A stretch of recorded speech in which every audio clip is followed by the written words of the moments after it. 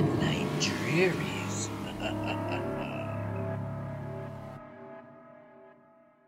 In the not-so-distant future, the world had become a dystopian wasteland of neon-lit skyscrapers and polluted skies.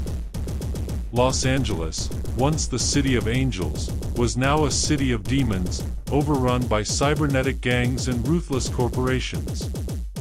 Trent Reznor, a former rock star turned cyberpunk warrior, navigated the desolate streets of this techno-dystopia. Trent had once been the lead singer of Nine Inch Nails, a band that had rocked the world with their electrifying industrial music.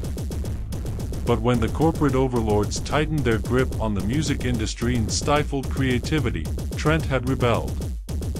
He traded his microphone for a cyber-enhanced arm and his leather jacket for a Kevlar vest.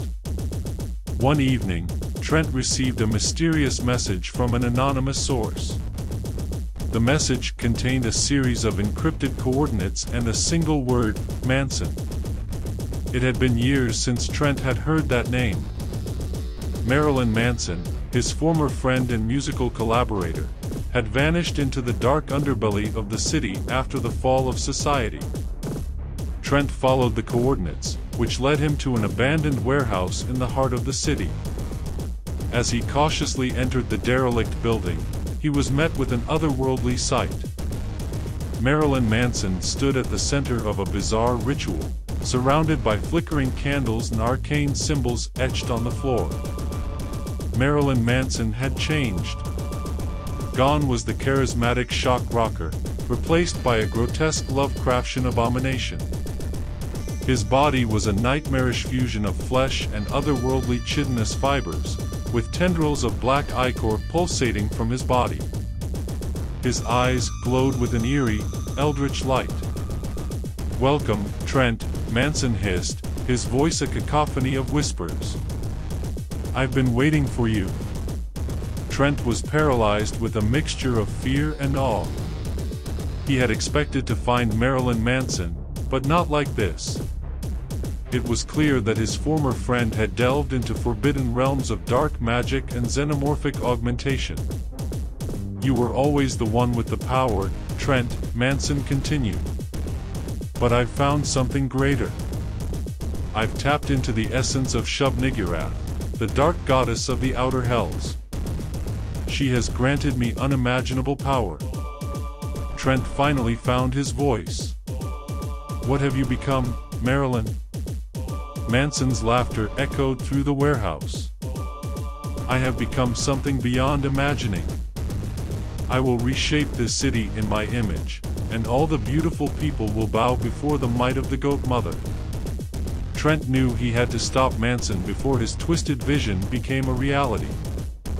He drew a cybernetic blade from his arm, its edge crackling with energy. The battle that ensued was like nothing Trent had ever experienced. Manson's newfound abilities were nightmarish and otherworldly. He summoned grotesque creatures from the void to attack Trent. As they clashed, the very fabric of reality seemed to warp and shift around them. The warehouse itself became a battleground, with walls and floors morphing into grotesque forms. Trent's cyber enhancements allowed him to hold his own, but Manson's power was growing with every passing moment. With a burst of determination, Trent channeled his inner strength and slashed at Manson's abhorrent form.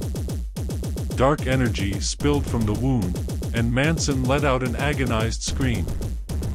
It was a momentary distraction, but it was enough for Trent to reach into his pocket and retrieve a small device.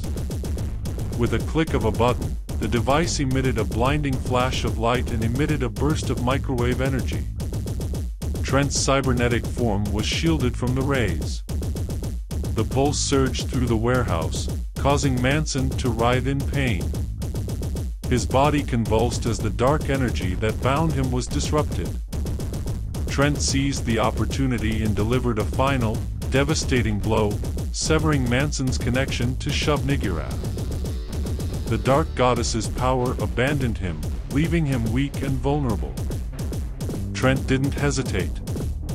He drove his cybernetic blade into Manson's heart, ending the nightmare once and for all.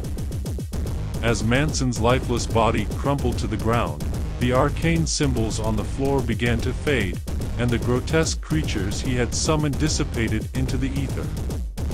The warehouse returned to its derelict state, and a sense of normalcy settled over the ruined city. Trent Reznor had saved Los Angeles from falling further into darkness. But the scars of the cyberpunk nightmare still remained, etched into the city's very soul.